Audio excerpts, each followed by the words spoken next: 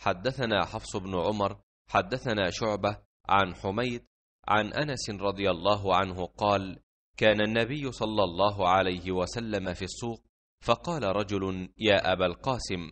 فالتفت النبي صلى الله عليه وسلم فقال سموا باسمي ولا تكتنوا بكنيتي.